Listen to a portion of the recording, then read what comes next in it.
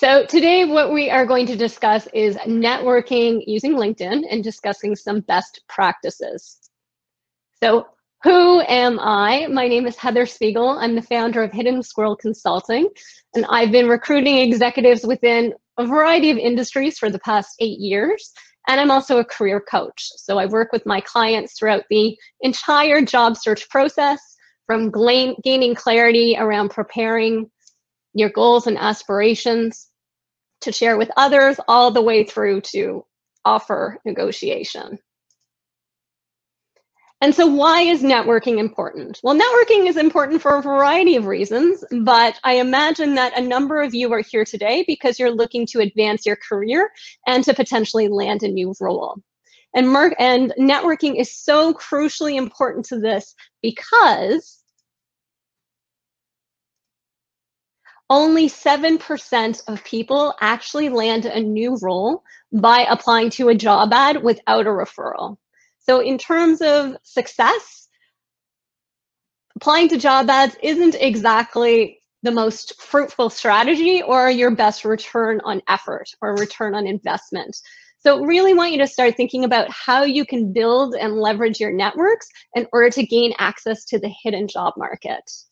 And so the hidden job market is essentially all of the roles out there that are not advertised formally. And a lot of the time we only gain access to them by networking. So before we start specifically about LinkedIn, you really want to think about how you can leverage your existing network, both in terms of friends and family and past colleagues, but also in terms of acquaintances or people who you're not necessarily close to. And you really want to ensure that your network understands the types of connections that you're seeking and the types of roles that you're interested in. Again, this is very much tailored to searching for a new role, but networking on the whole is something that we're going to get into in terms of LinkedIn and those best practices. And so industry specific groups are also really important in terms of being able to build your network. And of course, LinkedIn. So I would argue that LinkedIn is probably the most important social media platform for advancing your career. There's over 690 million LinkedIn users. And of course, 95% of recruiters, like myself, turn to LinkedIn to find candidates. So it's really important that if nothing else, after today's session, you ensure that you do have a LinkedIn profile. And so today, we're of course going to talk about using LinkedIn to network. And so before we get into the nitty gritty around best practices, you really want to ensure that you have a fully updated LinkedIn profile because you're going to place higher in the search results when someone like a hiring manager or a recruiter is looking for someone like you. And you're also going to get access to 40 times more opportunities these are stats directly from LinkedIn. And even as simple as adding a professional looking photo can get you up to nine times more connection requests. And when we are networking, unlike with a resume, people want to see your face. So ensure that you do have that professional looking photo on your LinkedIn profile. And so today we're going to talk about active strategies in terms of networking, but even in terms of passive strategies, you want to ensure that your LinkedIn profile looks professional, it's complete, and then that way when people are looking for others like you, they'll be enticed to reach out. And so if you email me after today's session, I will send you my LinkedIn checklist on how to optimize your profile and all of the things to keep in mind. Okay, so in order to maximize the potential of LinkedIn, the first thing beyond having a fully complete profile is really building out your network. So ensure that you have over 500 connections because LinkedIn is going to reward you, particularly in terms of appearing in search results, if you have a broader network. And one way to passively or continuously build up your network is to always include your LinkedIn URL in your email signature and on your resume. When you are active on LinkedIn, you really want to also ensure that you're continuously engaging with your connections content, things that they're posting, things that they're liking. Adding those comments that provide a unique perspective are really key in terms of building those connections. And my number one pet peeve is when people send outreach requests and they don't personalize the messaging. So really ensure that when you are reaching out to someone that you do want to connect with, that you are customizing the message, that you're mentioning something about their background that piques your interest or that is interesting to you. And one way to do this is to look specifically at their activity history on LinkedIn. And then beyond that, you also want to post and share unique content. There is a tremendous opportunity on LinkedIn right now to establish yourself as a subject matter expert. Very few people do post on LinkedIn regularly. So that is another thing that I would recommend. And this way people will reach out to you to network and build those connections. So something to keep in mind. Now getting on to those best practices. If there's nothing else, I really want you to walk away noting that networking is not the equivalent of asking for favors. It's about establishing new relationships and also going into conversations thinking, how can this be a win-win? Even if you are looking to advance your job search, there's always something that you could potentially provide to the person that you're reaching out to, whether it's a connection, facilitating an introduction, providing a unique perspective, or even providing a book recommendation. There is always something that you can do. So number one is we want to think about how we can provide value. Number two is we want to establish relationships, particularly if you want to eventually ask for something, you want to take the time to establish rapport and really get to know someone. So that is something to, to keep in mind. And then finally, to be consistent with your outreach. In an ideal world, we would be networking continuously all of the time. And people who rise up within their careers tend to be people who really prioritize networking. And they also prioritize facilitating connections in their network. So that is something to consider as well. And again, when we are reaching out to people, there are four things that we can do to really optimize the chances that they're going to speak with us and that we're going to have a really fruitful connection. So number one, if you can get a referral into someone, you are golden. Referrals are so important.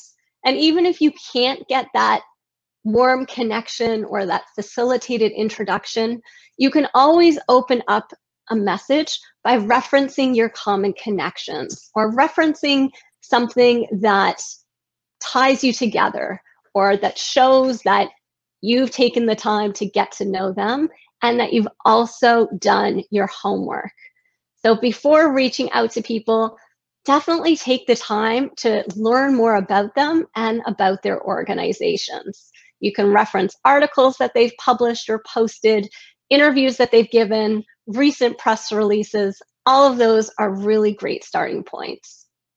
And then the third thing is really articulating your clear ask. What is it that you want from this connection? Is it that you would like a 15 minute phone call? In non COVID times, would you love a coffee date or a, a coffee meeting?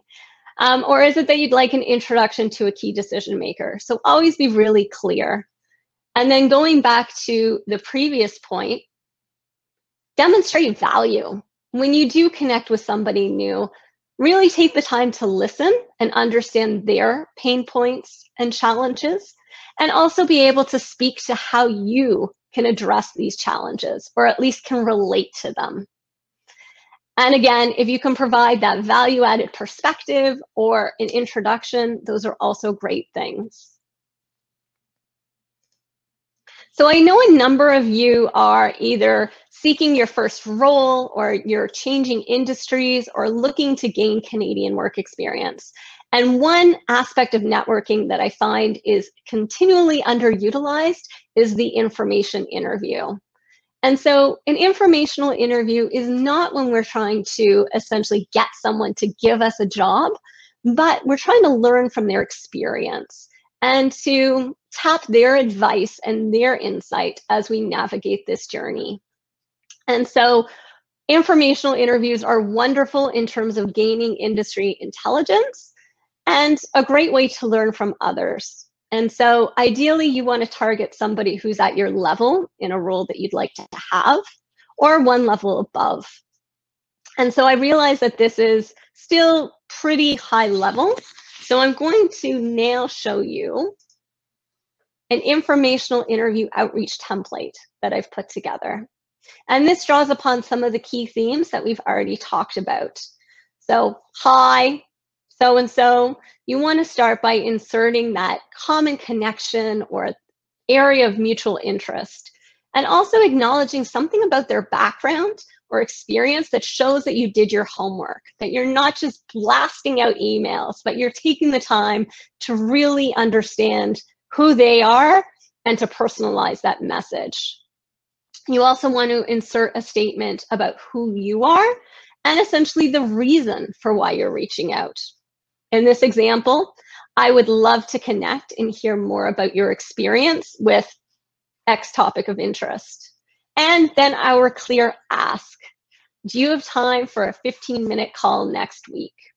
So these are all of the major components that I would recommend including in an outreach message if you are seeking an informational interview. But again, I do encourage you to customize the message so that you're speaking with your authentic voice. So there are two ways that we can get acquainted, so to speak, with people on LinkedIn. And one that isn't traditionally utilized is the follow button. So if there's someone that you would love to establish a connection with, but you question whether they would accept your connection request, let's say an executive high up in an organization of interest, what you can do initially is follow them. By following someone on LinkedIn, you're not asking for their request or their permission to follow them. You can follow anybody. And this way you'll be able to see their activity history as they're posting. It will appear in your feed. So in this case, if James is someone I follow in my LinkedIn feed, I'm going to see the articles that he's posting. I'm going to see the things he's commenting on. And then that gives me the ability to also like and comment on the same things. And so I can foster a dialogue more organically.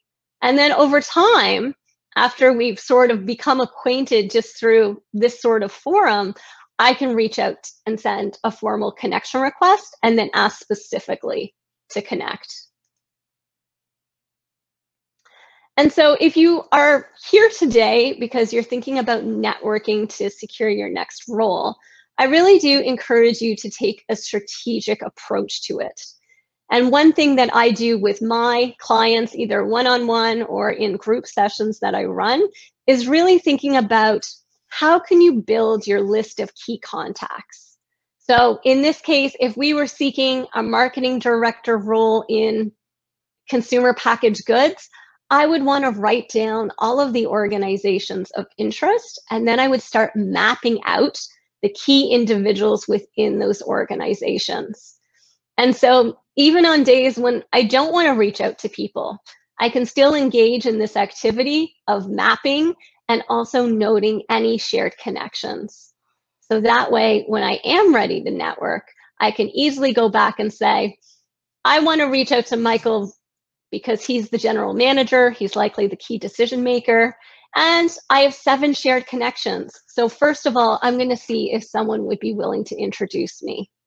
Because remember, any sort of referral is gold, particularly when you are seeking to land a new role.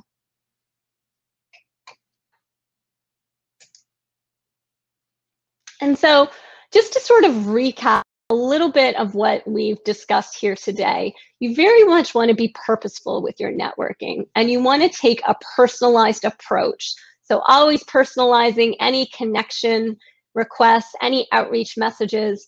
And before you ask for something, really go into the conversation thinking, how can this be a win-win? And how can I turn this into a relationship rather than something that's just transactional? How can I foster rapport? How can I build that connection? And also, how can I add value, even if it's in a very small way? And so what I think that you can do today is number one, establish a LinkedIn profile if you don't already have one. Network with your existing connections. Don't be afraid to request informational interviews. They are so, so helpful. And also map out organizations of interest and those key contacts within. And finally, once you get comfortable networking with people who are at your level or maybe one level above you, start reaching out to key decision makers and taking a proactive approach, also demonstrating how you can really address their pain points and that you understand the key challenges that they're trying to solve. And finally, you can always work with a career coach who can be very helpful in sort of guiding you through this process. And so personally, as I mentioned at the beginning, I work as an executive recruiter and a career coach. I guide my clients through the entire process from getting clarity around their career objectives all the way through to things like LinkedIn profile optimization, creating a robust job search strategy, preparing for interviews, and of course, negotiating that offer. And I will mention that I am going to be running a virtual career camp program next month. So in a group environment, we go through all of this plus more, including nine hours of content. So if you would be interested in learning more, send me an email and don't forget to send me an email to reach out and get the free LinkedIn optimization checklist.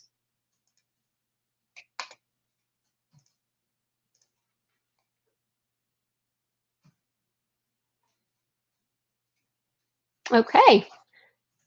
So does anybody have any questions that I can answer for you?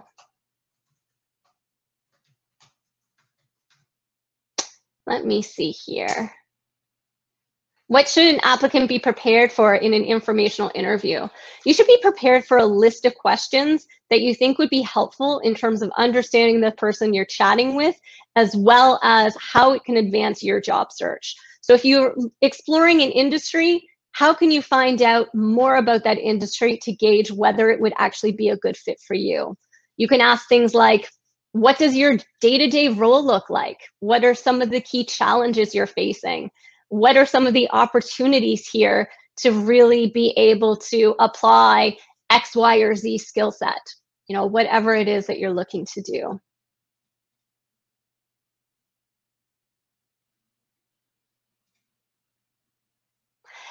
If contacts you're reaching out to on LinkedIn are unresponsive, don't be afraid to follow up at least once or twice. People are very busy and oftentimes it's not that they don't want to connect with you it's just that it's fallen off the radar. But when you do follow up make sure that that message is personalized so that they know that you aren't just blasting out emails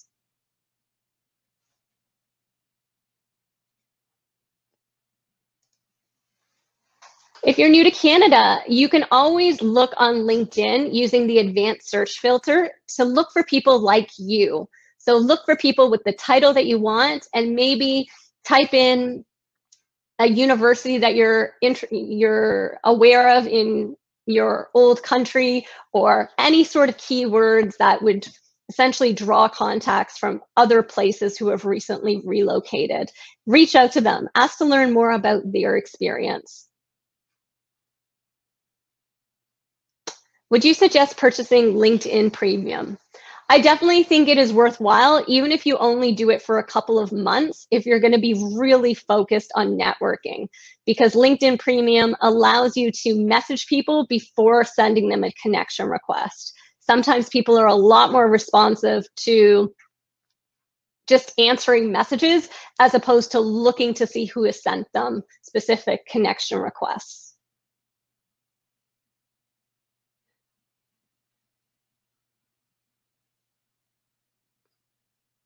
I'm just seeing if there were any other questions here.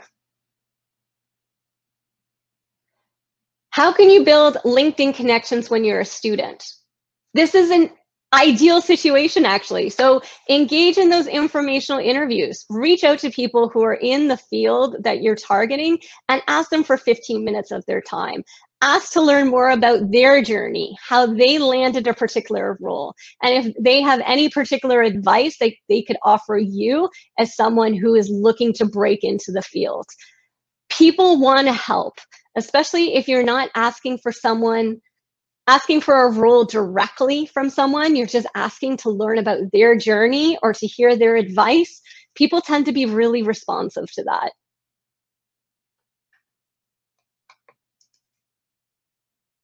What do I think of Indeed? Um, again, I really think that you shouldn't, if you are looking at your time, I think that in an ideal world, you would be spending 80% of your time networking and only 20% of your time applying to job ads. That being said, if you do see a job that's posted that looks perfect for you, see if you can find out who the hiring manager is. And even better than that, see if you can get a referral into that hiring manager even if you can't, just taking the time to do the legwork to try to figure out who the role reports to and reaching out directly to that person can put you, you know, heads above the other candidates. So LinkedIn, uh, Indeed can be an important resource to finding roles, but it shouldn't be your only Hi, resource. Heather. Can you hear me okay? Hello? Hello, Heather, can you hear me? And unfortunately, I can't hear you, Alex. I'm I'm sorry sure. that I'm having um, technical issues, but it was a Oh, pleasure being fine. here today. Um, I'm not sure if anyone else in chat can hear me. Um, if someone wants to put a message You in the also chat. do reach out to me at heather at hiddensquirrel.net if you would like to receive more information or get that LinkedIn checklist. Okay, so you can hear me and Heather. Okay. Um, so I just wanted to come on and say thank you, Heather. And again, I'm sorry that you can't hear me right now. Um, but for everyone just watching the session, just let you know that our next session is about to begin in two minutes. So that's uh, Sweta Regni, or sorry, Sweta Regni. Um, and so that'll begin at 3.10. Um, and again, sorry about the check, uh, the audio issue. Thank you again, Heather. I'm sorry you can't hear me.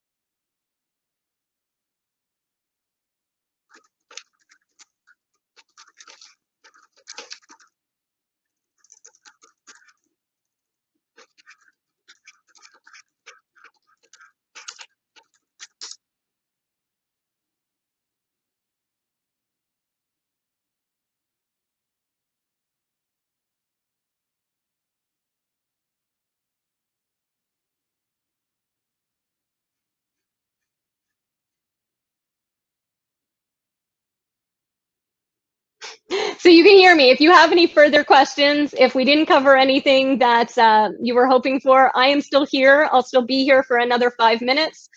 So happy to answer any further questions that you may have.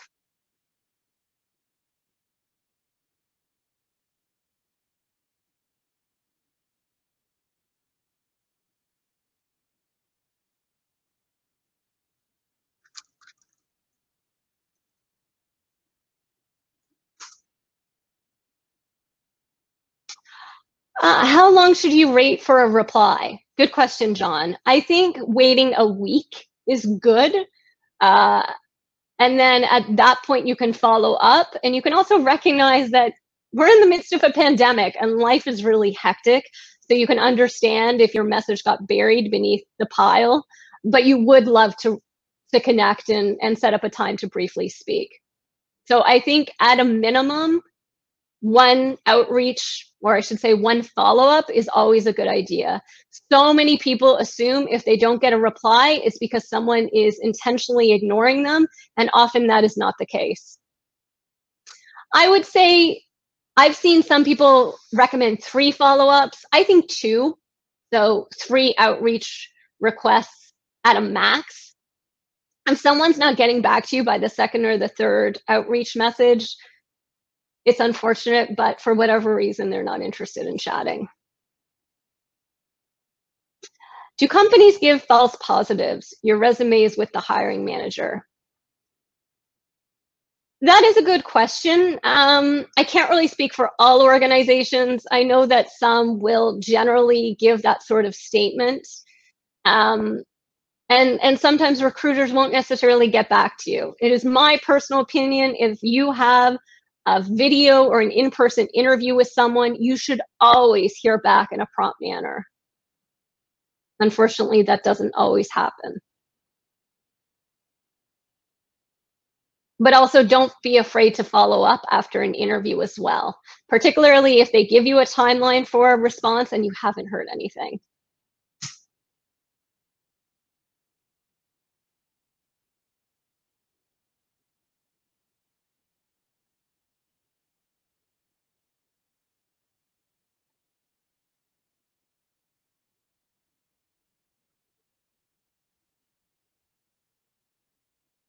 Okay, are there any other questions? Otherwise, bring this to a close. And you guys can feel free to reach out to me after the fact as well. Okay, it was lovely being here today. Uh, I hope that was helpful and look forward to being in touch in the